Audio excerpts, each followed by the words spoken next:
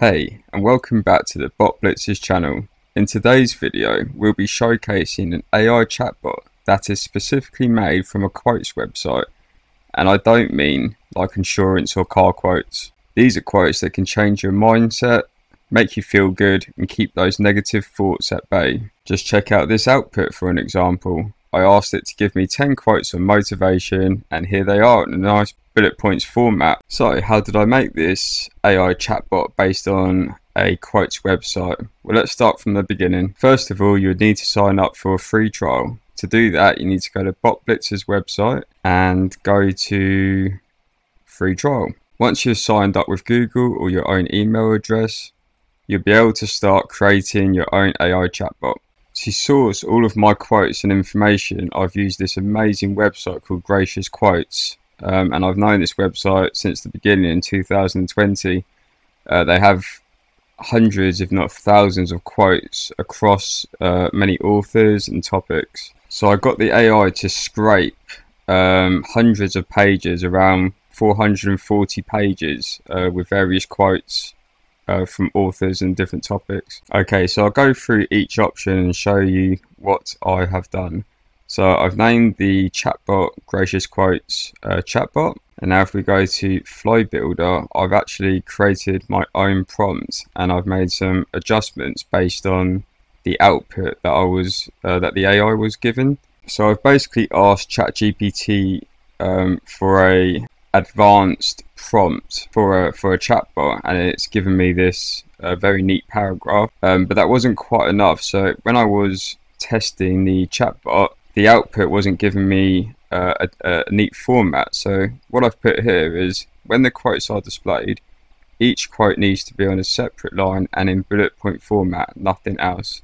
So I'm telling it that's the only way I want the the output they cannot be all jumbled together in one paragraph. And because I think quotes and emojis go well together, I've also put also add in emojis when you feel it's irrelevant uh, sorry relevant to make it more user friendly okay so i've actually turned on the safety prompt switch basically what you can do is put in any topic or phrase or category and the ai will say that that's not a related question to the chatbot. So this is really effective and I have this for my main chatbot and I found these are some of the best ones to use but you can alter it to whatever whatever you like. Moving on, I've chosen the latest model GPT-4o Mini um, but you can also add in Claude uh, Anthropic key. You can actually uh, add your own API key down here. So if you just tap that and you can pop it in there. I've kept the temperature as zero because I only want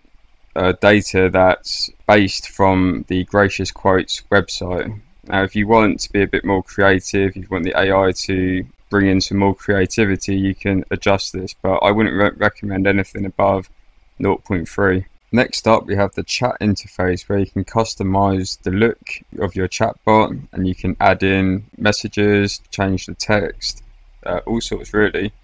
So first up we have initial messages and I've put in here, hi, a quote today makes depression go away, which is the slogan they use for gracious quotes and I really like that. And then I've put, ask me for a type of quote with a smiley face because it's quite engaging. For suggested messages, I've put, give me five quotes on love, give me 10 quotes on self-improvement, give me 10 quotes on motivation. And what these are, are like buttons that the user can click uh, just once and that will automatically ask the chatbot this particular question or phrase. This is really handy to guide the users into um, into what you want them to to ask as sometimes they'll go on your website and not know what to do. Now here we can choose between the light and the dark theme. I'm going with the light theme today you can change the shadow settings. I'm, I've gone through all this in another video based on this level of customization, so um, I'll skim through most of this. You can choose your font family, you can upload a profile picture, which is there, Gracious Quotes uh, logo. You can input placeholder, cho choose the user message color, update the chat icon, which I have down here,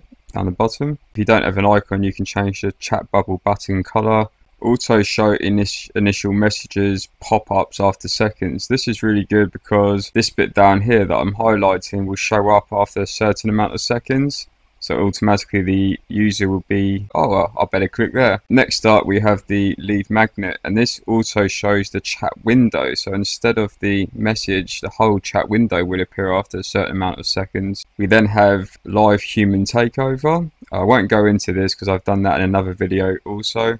And you can also display the source reference link. This means that when uh, someone asks a question, the AI will try and find the source of where it's got its answer from. Usually this is correct, but if there's a lot of links, it might get confused. So I usually, for bigger websites that have been scraped, and more pages, I'll turn this off. So let's hit save. Okay, the security tab um, has a few options. The main one is rate limiting, which means, for instance, if you had a really popular website and they're all using your chatbot, you can limit that because if too many people are using it at once, there may be an error. So you can actually limit this, uh, which I've got here, limit to only 20 messages every 240 seconds. One of the cool features of bot blitzers is you can capture leads. So a, a lead form can be generated at the very beginning or for every question or for human takeover only. And you can have first name, last name, email, phone number, message, and these can all be toggled on or off. You can add in your privacy policy down here, URL, and add a title for your lead form. We also have uh, appointments, which is integrated with Calendly, Calendly, struggle to say that, and your Google Calendar. You can integrate with either one of them. I won't go through this now because once again I have done this in another video. On your dashboard you can see all the chat logs that people have asked questions for your chatbot you can see the leads that you captured and appointments, and these can all be exported into a CSV format. Uh, next up, we have sources. This is where you can add or remove data. Say, for instance, you wanted to add a, a file now, you can do that, or just some text. These four web pages failed for some reason, so I'm, I'm just going to leave them as they are. But if you don't want that to show, you can select those and then retrain the chatbot. You can add more links in uh, we can add in questions and answers. So the chatbot would be more specific on its answer from a certain question. You can add in a Google Sheets. Keywords trigger can be really handy for certain use cases. So for instance, if I um, put in here like quotes on love, love quotes, quotes about love, and then I put in here, let's just find a quick quote on love. So if we just quickly find one here, and if I put in you are my heart, my life, my one and only thought. So what that will do is when someone asks these particular phrases, quotes on love, love quotes, quotes about love. So let's put in quotes on love. I'll refresh the page first.